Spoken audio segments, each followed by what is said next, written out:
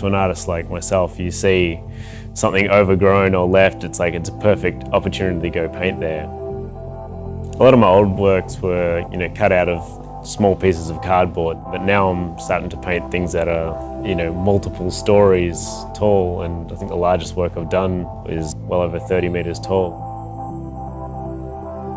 I'm Rone, I'm from Melbourne, Australia.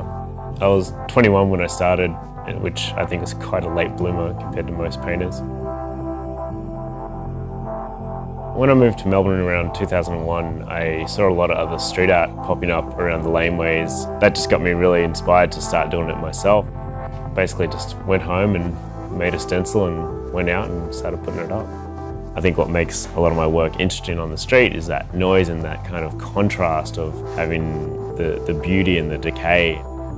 I try and avoid putting my product on a lot of stuff that I see as disposable when I was approached by Blunt, they came to me with the offer of a lot of the proceeds go to Oxfam, and I saw this as like a total win-win where it's like you get something that's beautifully designed, something I'm proud to have my artwork on.